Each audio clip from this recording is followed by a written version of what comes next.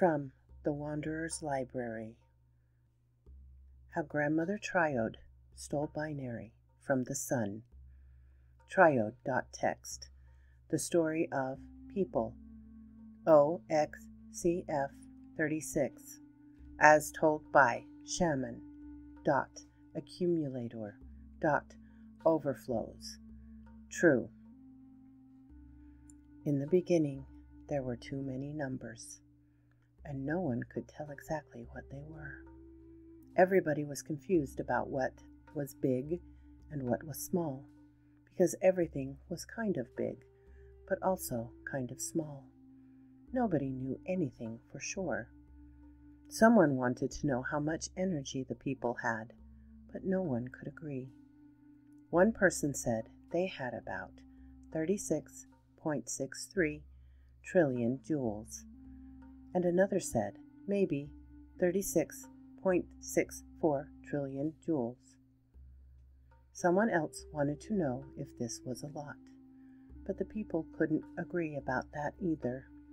Some said it must be a lot because it was more than one joule.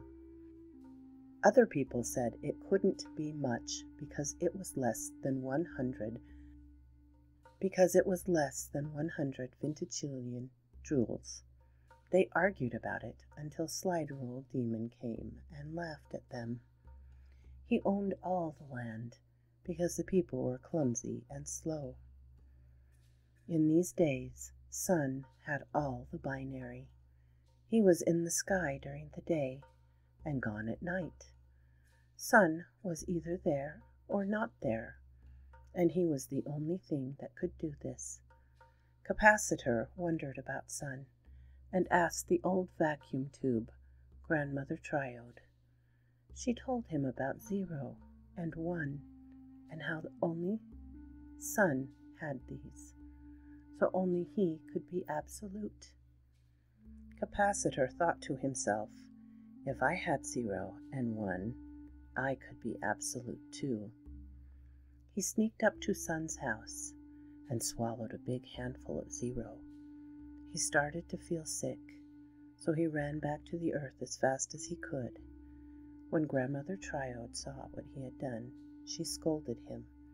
Oh, capacitor, that was very foolish.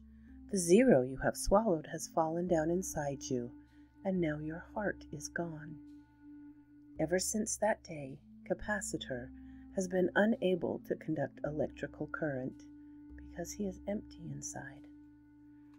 Insulator also tried to steal from Sun.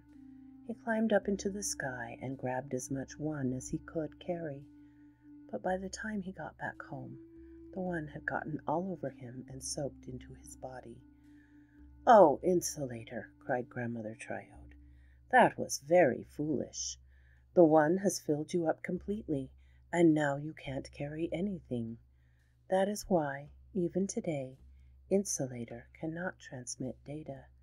He is all solid, and nothing can get through.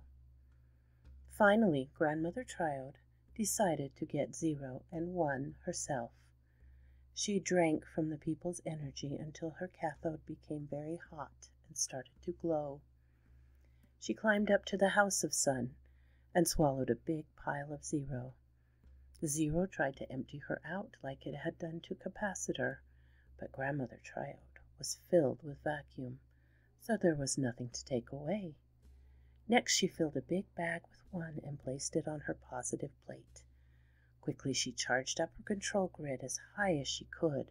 Then one could not make her solid, like it had done to Insulator, because it was trapped on the plate by her strong magnetic field. Ha! laughed Grandmother Triode.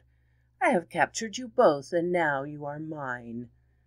The sun had lost so much zero and one that he no longer had enough to last all day. He had to start being part way there and part way not there.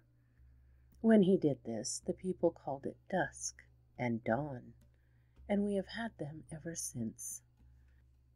Grandmother Triode shared her zero and one with all the people, and because she was very wise, she declared that one should mean all true and zero should mean all false, Now, she said, we can be sure of things and never be confused. She also taught the people how to make any number they needed from just zero and one. The people looked at their energy again and found that they had exactly 36, 637, 215, 626, 189 joules. Slide Rule Demon became angry because he could not make numbers like this. But the people had become fast and strong. They chased him away, and Slide Rule Demon never came back. Grandmother Triode had a daughter called Transistor Woman, and she taught the people logic, arithmetic, and everything they needed to know. Soon the people owned all the land and were very happy. End of file. Thank you for coming with me to the library, my darling. So quoth Viz Raven.